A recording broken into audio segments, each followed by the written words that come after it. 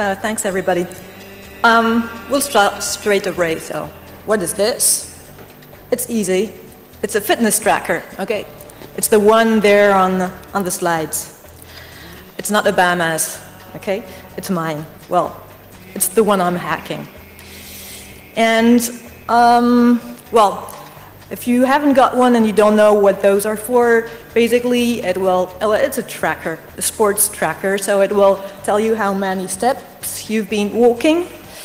Um, it also acts as a sleep wristband, that's what they advertise it as, so it will, it will tell you if um, the quality of your sleep is good, if you've got an efficient sleep or not, okay? And um, the display, this is really the entry-level uh, sports wristband at Fitbit. Um, it has only five LEDs there, just at the top there. Um, they act like kind of a progress bar, so uh, that you know how far you are from your next goal. Like, I don't know, my next goal is to walk 5,000 steps in a, in a day or 10,000 steps, something like that. It can blink some other, only the LEDs are like meant to be meaningful for somebody. It can also vibrate, so you can wake up in the morning with it if you want, or wake up just in time to get to my talk. Um, and on this one, you have no altimeter, so if you're hiking on top of the Everest or whatever, well, it doesn't know. Uh, it has no GPS. Those are only on the, the higher, uh, higher models of, um, of uh, fitness trackers. So actually, you see, it's really um, like, you know, a plastic, plastic stuff there. And if you open it up, this is where you get to a small plastic enclosure there. And that's where you've got all the logics, the electronics, and everything that tells you how many steps I'm walking during the presentation, for instance, right? And then I tried to open it. I started well with a circular saw, and then my husband came in and he was frightened to see me with that, so he decided he'd do the job. He took that like enormous cutter, and I was frightened for his fingers, and we tried to open it. As you can see, it's pretty tough because it's a very small enclosure. Um, its uh, plastic is quite solid, it's difficult to rip through, and then once you've ripped through, it's very difficult not to break what is inside, because what is inside is very fragile. Well, you can see there, um, so I'll move the pointer, it's there, right? Uh, that's the Bluetooth antenna. And here you can see on the, well, the red part there, it's the NFC antenna. And there, if you have good eyes, this, this is the NFC chip, right? So in the end, we managed to open it without breaking the motherboard. Well, nearly without breaking it, and that's pretty good because some other guys um, of iFixit and 360 Electronics had tried, and they had broken the motherboard, so the, the Fitbit was uh, no longer responding. Here, what we broke, you can see it, whoops, that's next time, is there. It's the few LEDs, so probably it won't be blinking anymore, but at least it should be still working. And there you can see, this is the main chip. So it's an ST and microelectronics chip with an ARM Cortex M3, if I'm correct, on there. You've also got a real-time clock there. This is the three-axle accelerometer. Okay, so this is what measures the acceleration on three axes. This is the Bluetooth chip. This is for charging. And then on the other side, well, you've got, you haven't got that much space because the battery here takes quite a lot of space, of course, and you've got the vibrator. Right? So then this is a quiz just to, this is all for the, the hardware part. Do you have an idea how many trackers have been sold? Um, all trackers uh, combined, not only Fitbit. So 10 million, 40 million, 70 million. Hands up for 10 million. 40 million? A bit more, 70 million? Ah, didn't count, it looks like it's between 40 million and 70 million according to you. Well, it's 70 million. Well, according to stats, right. And it looks like it's growing. So it's, it's really massive. The, those are worldwide uh, uh, stats. And of course, well, we're in a security conference and hacking conference. So uh, the question we have on our minds is, well, can we get it to register um, fake steps, for instance? So that crocodile is suggesting, well, if I walk on four legs, uh, will it count for more steps or something like that? That's what we're going to have a look at. So we're going to have a video for that. Um, but basically, I tried to have it register some fake steps. And I'm lazy, like it happens for quite a few hackers. And I, I thought, okay, I'd like it to register um, the steps while I'm just sitting at my desk and working. That would be cool. And that's what I did. So, I need my glasses.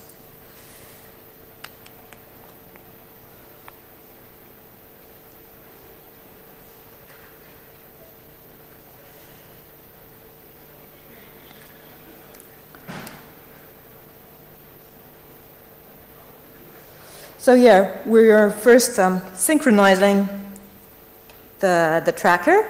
That's like kind of the geeky way, I'd say, to, to synchronize it. Of course, if you're on Windows or something like that, there's a, uh, an easier way to do it, but still it works. I synchronize, and I have a look at, at the beginning how many steps I had that day. 38 steps. Not very much, right? And then I attach it to a fan. Yeah, that's stupid. It's a very small fan, like five euros, something like that. And that's at my office. And that's lazy walking.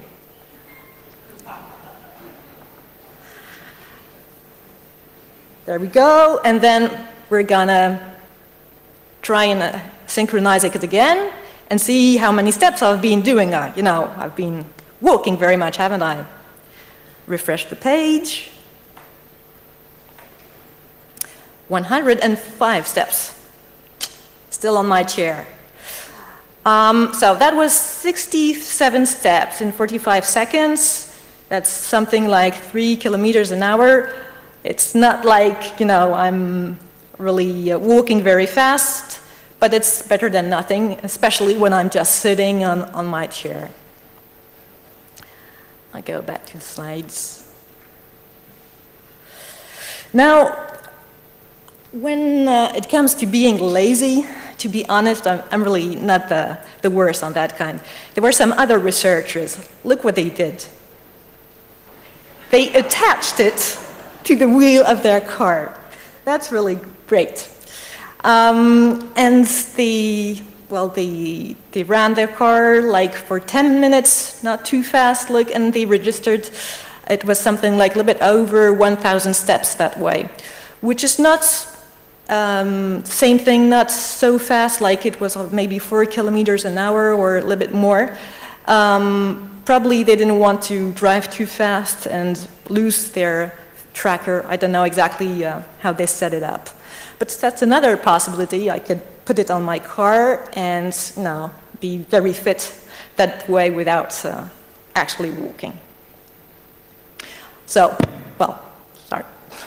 Um, you've seen it, we can abuse steps. Because of that, and because um, distance is only steps multiplied by the walking strides, we can, uh, we can also abuse distance. And of course, we can abuse the calories and the very active minutes which are displayed on our Fitbit account. Okay, because they all depend at the beginning on what the tracker registers as steps. Now, what about running? Well, it turns out that um, many people did um, research on those accelerometers and how it was measured. And with an accelerometer, well, we can work out pretty lots of things. For instance, we have here the, the various curves for when we're walking, and those there when we're jogging. Basically, you see higher peaks when you're jogging because you kind of put more acceleration. Well, not me, because uh, I'm a very bad jogger, okay? But normal people, it would look like that, probably.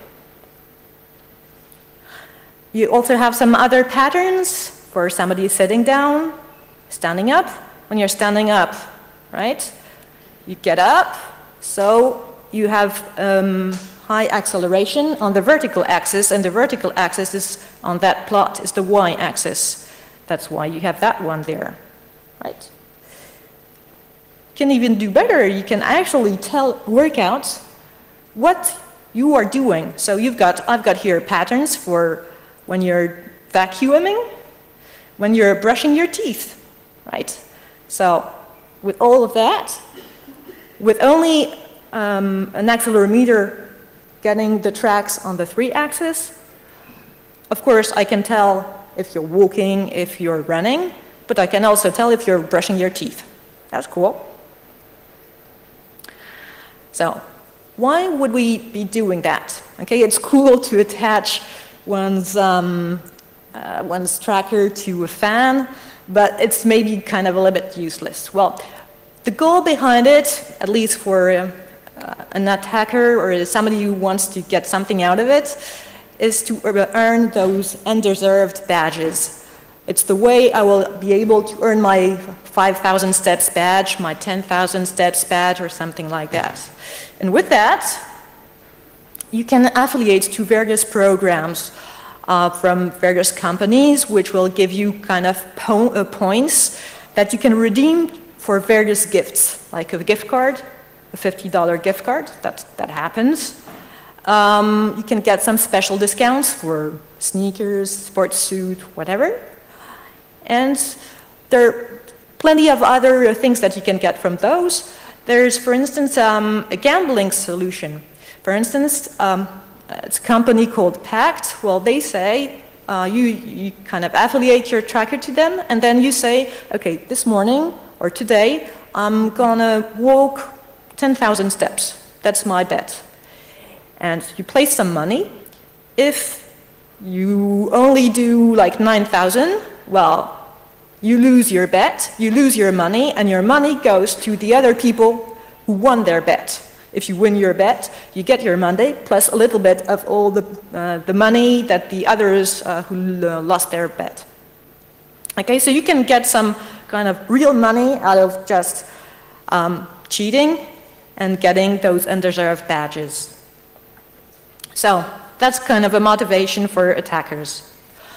Of course, there's also money for business. Well, that's pretty obvious. But um, all those affiliation companies, which gets the data from your fitness trackers, well, they make money out of it. Here we have um, Higi, which is a, a company who um, affiliates with uh, Fitbit trackers, and they say they said, well, we are launching our industry-leading privacy protected, of course, and secure API.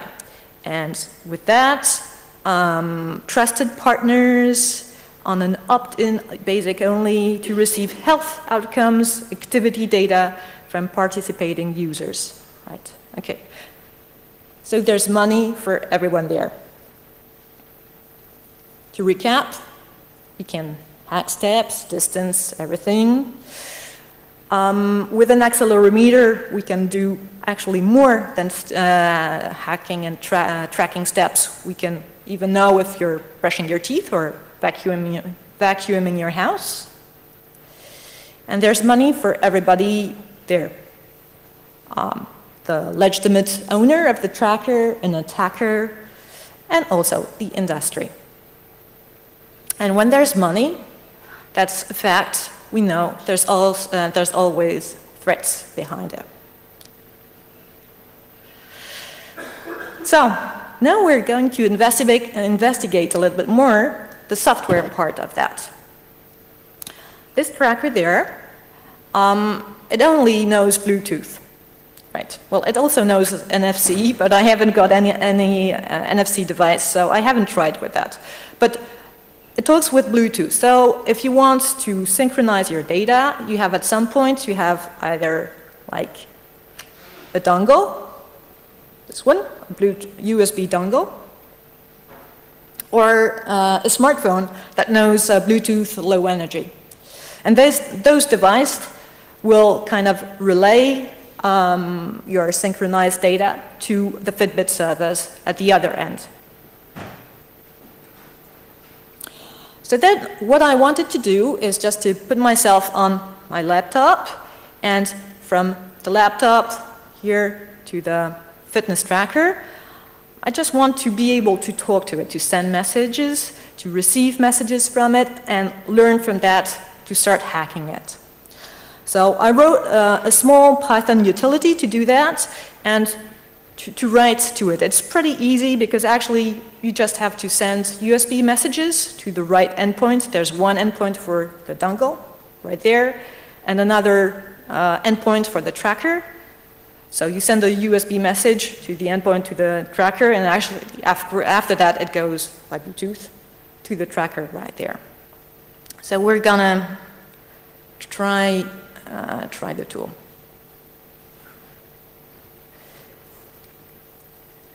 So,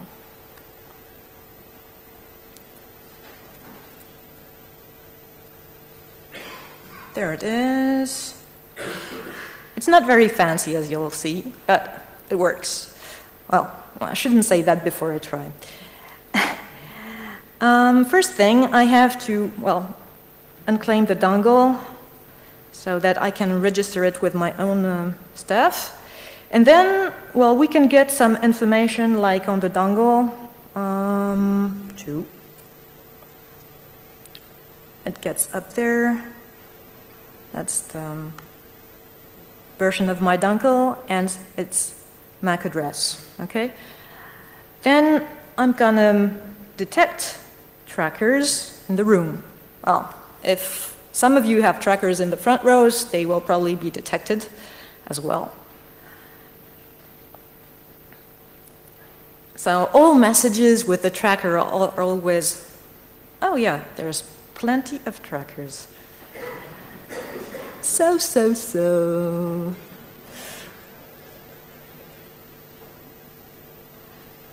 Yeah. At least those. And I'll try to put this full screen. And there's another one there. Uh, I think mine is the first one, is this one. The other three, I don't know.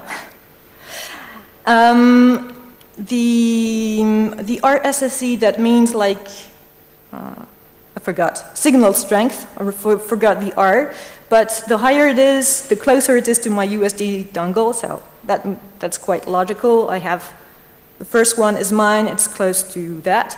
And then the other ones are like features that those uh, trackers have, right? So now, um, I'm gonna have to select the tracker I want to talk with. Mm -hmm. So which one? Ah.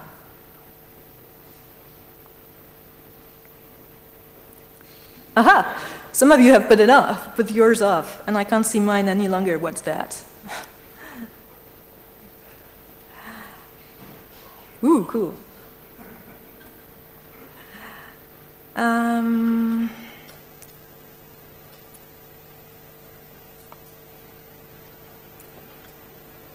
there. I'll try that.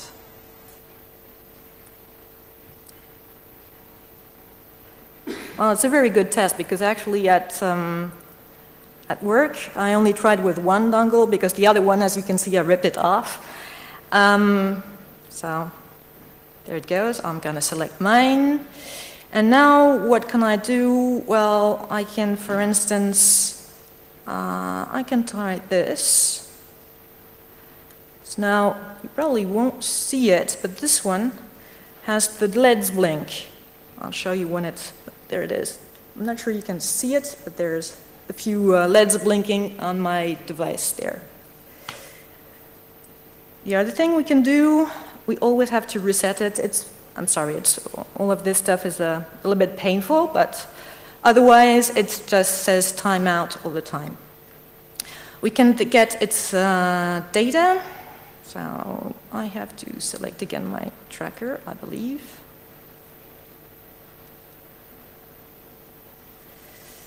And we'll try and synchronize the data so mine this time is the second, number two. And get tracker data.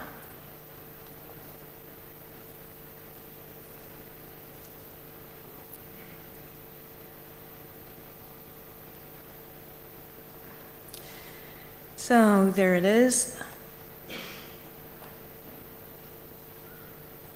So yeah, that's encrypted um, encrypted data of all the steps I've been walking. There's pretty, pretty a lot this time.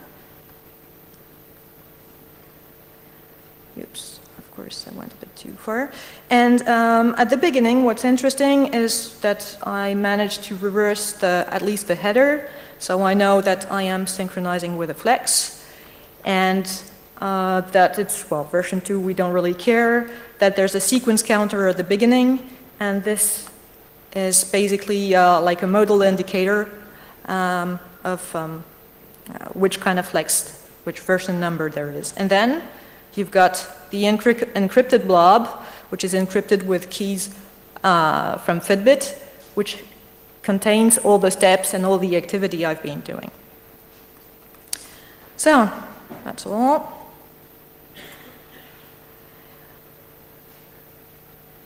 Let's go back to the slides. So all of these uh, messages that you saw that I can send uh, with that kind of small tool, well, I had to reverse everything manually because there's no kind of hackers uh, documentation, of course, for those devices. So it was pretty long, of course. Um, I managed to uh, reverse like 20 messages for the dongle. They have a different type, and then 24 messages for the tracker with a different type. And then there's the communication with uh, the, the server in itself, the Fitbit servers. This is done uh, through HTTP or HTTPS uh, with an XML communication protocol. And this is pretty easy to, to reverse because you just have to like uh, Wireshark or sniff the, the network uh, traffic and see how it's working. But th this isn't really difficult there. So we'll just have a glimpse at what um, tracker packets look like. Okay, uh, I won't be going into the de details of the 24 packets, of course. Um, what happens is that all packets that you send, you send to the tracker, they always start by C0. That's the indicator for this is a tracker packet. Then you've got the command identifier, and 10 in that case, it means get dump request which means I would like to get the data to synchronize, right? The tracker receives that and will start and respond by, okay, I'm gonna start and send you my data, but first it just sends, uh, so this is command identifier 41, start a dump response. Then it sends the dump, that's the encrypted blob that you saw on the utility. And then at the end, it sends another packet to say, okay, I've finished. And you've got also the, the dump size so that you can be sure that you haven't been missing a packet, for instance. There is also a CRC at some point, but uh, I haven't seen any hash, for instance. There we go. Okay, so we can do plenty of things. We can get the information of the dongle. We can we can see how many trackers there are nearby. If you want to come later on and try to synchronize with my tool, uh, do come and see me afterwards. Um, we can have the LEDs there blink. That's great.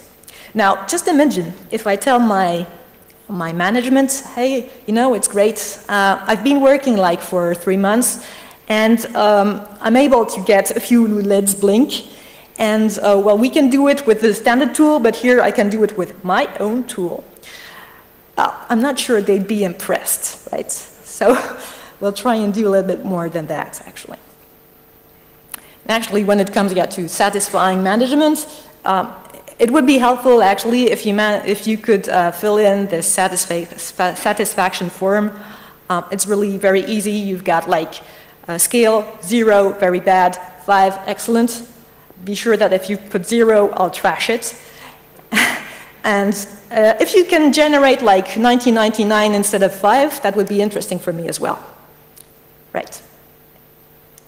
So yeah, the real question I'd say uh, my uh, management would be interested in is rather, uh, well, can this tracker get infected? Okay, I don't know if you know, I, am working with Fortinet and I'm a malware analyst there, okay, so this is really what my boss will be interested in. Or if it can be really infected or if it can, is it able to propagate a malware to other uh, devices? So we worked out um, an infection uh, scenario there.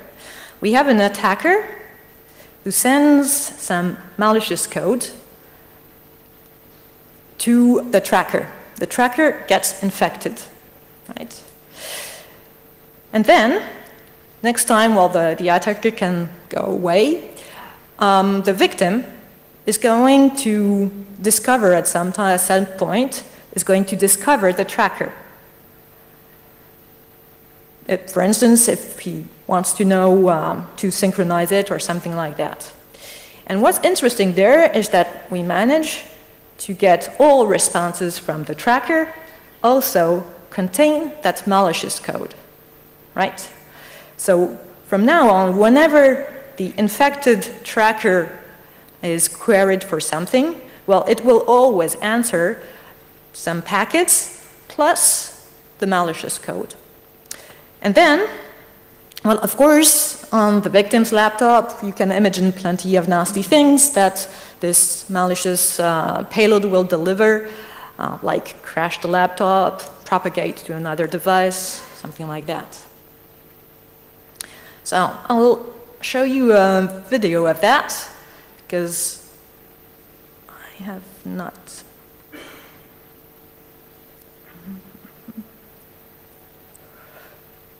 So it's this one. So it's really, um, yeah, before I started, it's really like a, um, a hacker's uh, proof of concept. It's not very visual. I'm sorry about that. Oops, where is it? Start back. F1. So there it's starting, and I'm going to inject to the tracker some, uh, imagine it's a malicious code, but it's not. For the demonstration purposes, I'm just injecting the string hack your flex, right?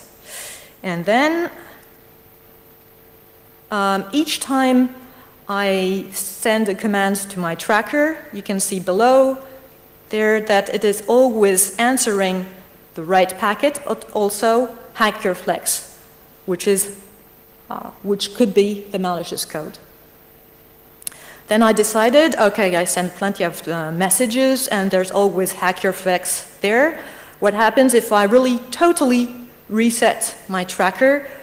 Can I still uh, see that um, injected code? So yeah, 100% for, for this part.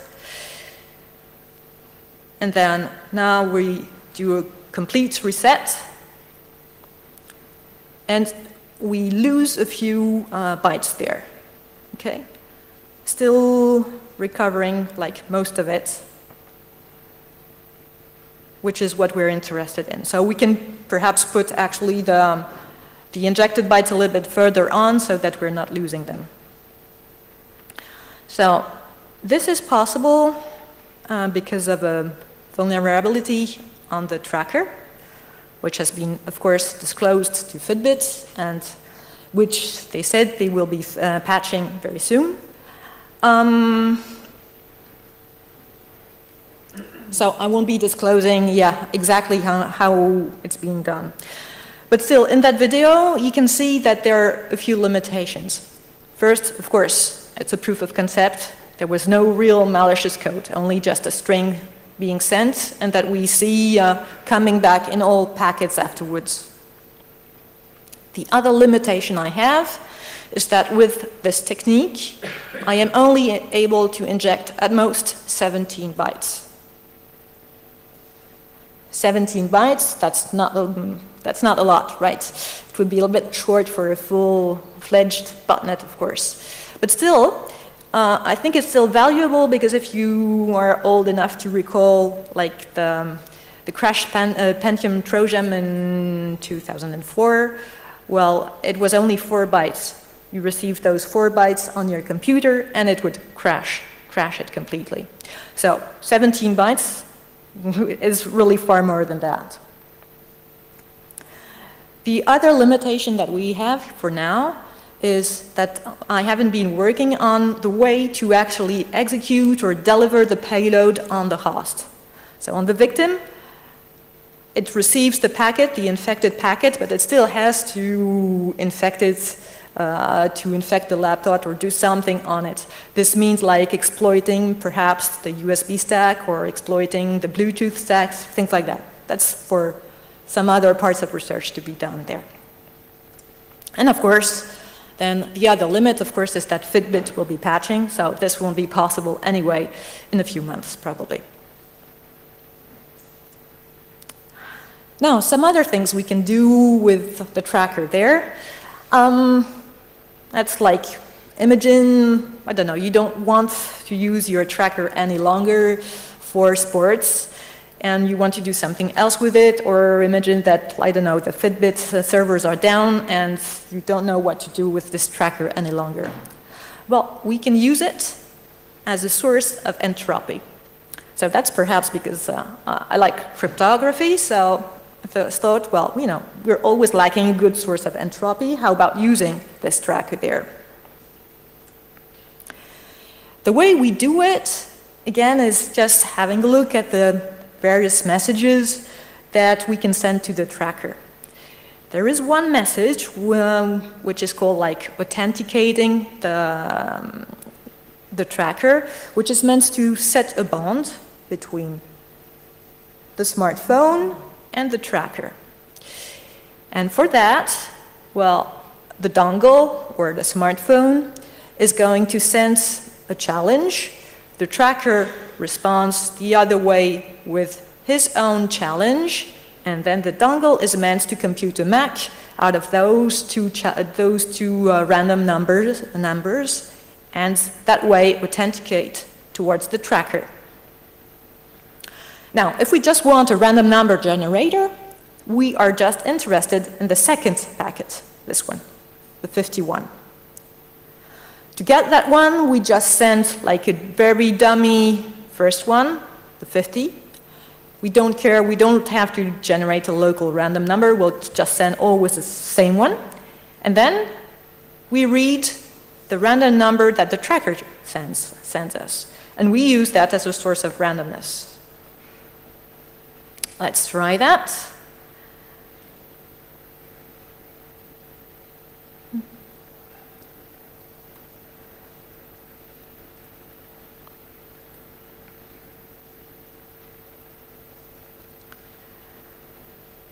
Um, yeah, I have plenty of trackers, so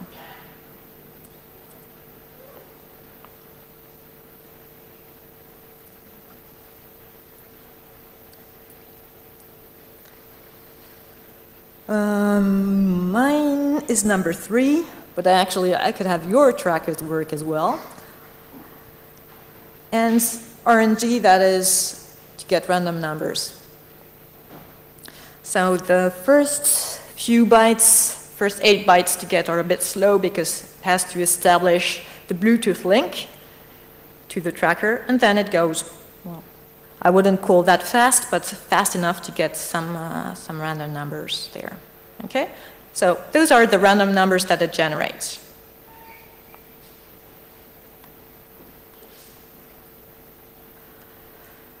Now, I'm sure that you wonder, well, okay, those are, they look random, but are they really random? That's really a good question, right? So, well, I tested them. And I tested them uh, with the batteries of tests which are, you know, recommended by the NIST for their own, uh, the, the own uh, random number generators that they want to uh, kind of test. So there's uh, a tool called ENS, which regroup uh, all those uh, first tests, the chi-square test, the mean test, and the Monte Carlo p-test. And then there's another batteries of tests, which is called d-harder, there. And in an ideal world, okay, that's what we're targeting, we would have a random number with a generator with those values there, right? You never get this, of course, because ideal world is never perfect. And that's what we get for our tracker with my system there. And what we see, I've compared it with some other uh, sources of entropy. So uh, Victor Hugo, this is French uh, literature, just to see how bad it goes when something is not random, the difference. Um, ciphertext here, well, ciphertext uh, is meant to be pretty much random at the end when it's you know encrypted. So it's also a good way to test to to see uh, how a good uh, random output would be. And then you've got some physical events like radioactive decay as, as well to compare with. And well, the results are a bit difficult to assess because there's no like real excellent um, random number generator but it looks okay. I mean, it doesn't look really worse than what we'd have sta uh, standard on uh, the Linux uh, systems, for instance. So perhaps I would not be using it for cryptography, but it's not too bad. So yeah, that's all. So just to recap, well, we are able to fool steps and distance count. We can have our LEDs blink. That's great. I like it personally. But we can also have, or uh, we can see that the synchronization data that go to the, uh, the Fitbit servers are encrypted. And I'll be working on that later. Um, we are able to inject 17 bytes on the tracker, which could be uh, potentially harmful because we could, we can that way infect our tracker and propagate the infection to other devices. And we are able to use our tracker as a random number generator. And that's it. You've got a few links there if you want to see some more. Um, the tools, my tool will be posted in like a few days, the, the time I get back home. Um, and then if we've got some time for questions, I'll be happy to answer.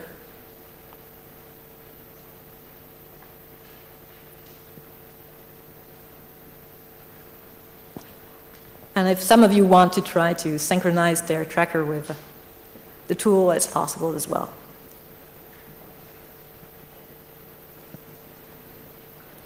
No question, or is it that I don't see the hands up?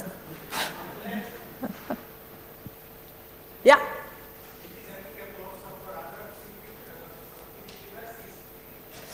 Yeah, so the question was, uh, is it possible to uh, apply it to other uh, Fitbit trackers? Yes, it is. Um, uh, this work is applicable to any Fitbit tracker as far as I know. Um, I there, there, are some specificities for some others, uh, like they don't have the same device type, they don't have uh, the same, exactly the same headers. I haven't reversed exactly all of them, but um, yes, they synchronize the same way, you send the messages the same way. Um, it's globally the, the same way to, to communicate with the tracker. They just do have some, for instance, for those with uh, a screen, you have some messages which are implemented on this one but not used. Well, on uh, the surge, for instance, or on the charge, um, those packets are really useful and do something on the, on the device.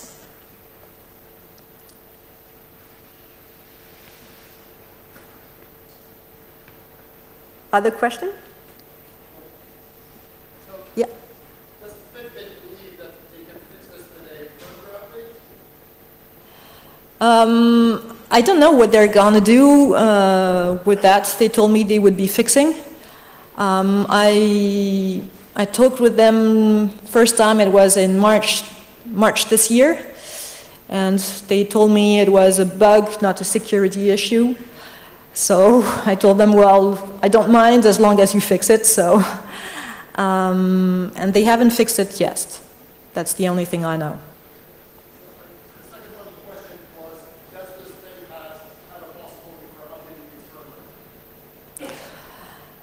Well, it's possible to update the firmware, yeah.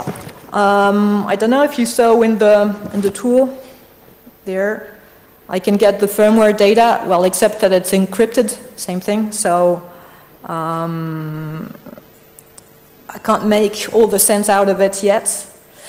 Um, let me show you, yeah, it's there.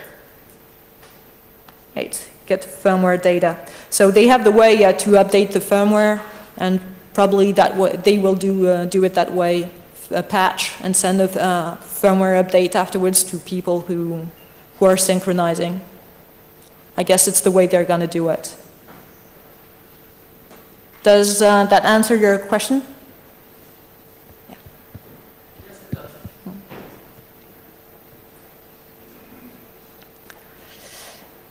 Any other question?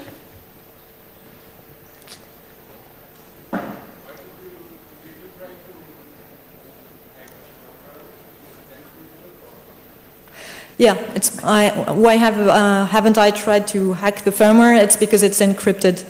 Um, for now, um, it leaves the tracker there, it leaves it, it's already encrypted. So when I see the bytes on the laptop, it's already encrypted. If I uh, have a look at them on the smartphone, same, it's encrypted. And when I discussed with um, the, some Fitbit security engineers, they told me that they indeed, they considered the laptop or the smartphone as outside the security enclosure, so that they had encrypted it before, which is actually, I guess, a, a good measure. So it's encrypted, and for now, uh, I'm not even sure what algorithm they are using. It could be either AES or XT. I am not sure of that.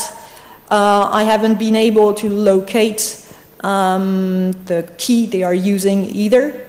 And for that, I need to, uh, to inspect the hardware. So that's why at the beginning, we started like opening it, and now we have to, I get to, to probe the hardware to, to get something. I haven't been able to see anything more with the software.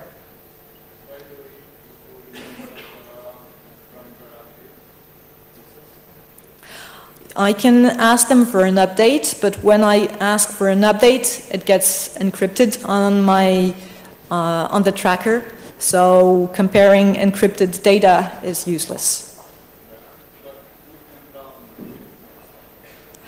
Uh, yes, I can downgrade. Um, not so sure because there is at the beginning of um, yeah at the beginning of the packet there's a sequence counter. And uh, for instance, I tried some other times to do uh, some replay attacks on steps, like I record uh, every packet that is going to the Fitbit uh, server while I've been doing 10 steps and try to replay that um, with changing the sequence counters correctly, and it did not work. So I guess that it's more than just encryption. There's probably in the encrypted packet either some timer or something more but it's not working if you replay it. So it might not be possible to downgrade for the same reason.